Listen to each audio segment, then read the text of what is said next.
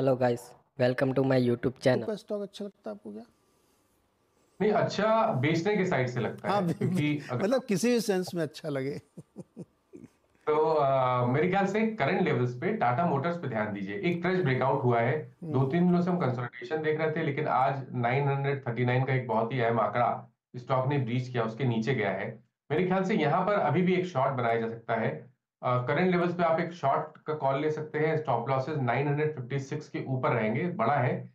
अ, और यह तो आप अ, काम कर सकते हैं टाटा मोटर्स का 930 वाला जो पुट ऑप्शन है. वहाँ पर एक ट्रेड ले लीजिए. 930 का जो पुट ऑप्शन है टाटा मोटर्स का वो पंद्रह रुपए के आसपास ट्रेड हो रहा है. उस ऑप्शन में आप खरीदारी करिए. सात रुपए का स्टॉप लॉस लगाइए और इस ऑप्शन में तीस रुपए के टारगेट टारगेट सेट करिए.